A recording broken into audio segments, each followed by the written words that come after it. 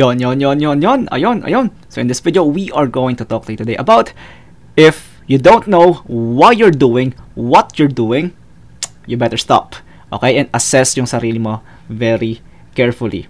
Okay? You have to understand that you've got a finite amount of time living this planet. So, you need to know why you're doing what you're doing. Every single one of us, meron tayong a designated path and purpose. Meron tayong dinesign na job or responsibility na we have to execute. Kung meron kang work right now and you don't understand why you're doing what you're doing, you better quit or not exactly quit, but assess very carefully, bakit mo nga ba ginagawa to? Is it because of the family, money, reputation, or all of the above? And the list goes on and on, okay? But there are people out there na uh, hindi nila alam bakit nila ginagawa ang isang bagay. Okay? They don't even know bakit sila nag exist They don't even know why they are existing in this planet. Ano ba to? Mabubuhay lang ba ako dito? Mag-aasawa, mag-aanak, pay the bills, and then bang, I would be 6 feet under the ground. You don't want to be that kind of person. Hindi mo alam kung bakit ka nag exist Okay? So, right now, you are still breathing. Of course, syempre, pinapanood mo yung video right now.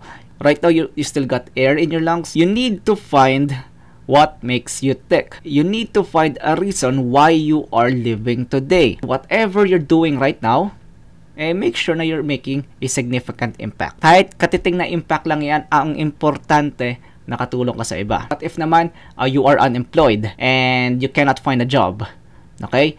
I mean, it's not na you cannot find a job, it's just na you are struggling to find something na you enjoy. Again, you have a finite amount of time in this planet to figure out the thing that makes you tick. You are living in this planet and you don't know what you want sa buhay mo you are living in this planet and you don't know why you're breathing right now, you may want to consider assessing yourself very carefully. Okay, there's a very good reason why you are existing right now. And uh, right now, we are in the uh, information age. We are in the information age. Ignorance is a choice. Information is free.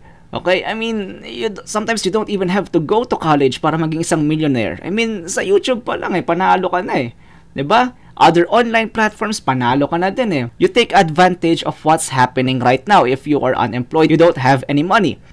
Okay? You take advantage of what's happening right now. Okay? Sayang. And when you see an opportunity, you grab it and you grab it by the throat and you do not let go. Your opportunity is presenting itself right in front of you. The challenge is this. Are you willing to grab it by the neck and take the risk? Up to you. Okay? Hope you've learned something new. Be happy, be healthy. That was very quick. And most importantly, to God be all the glory.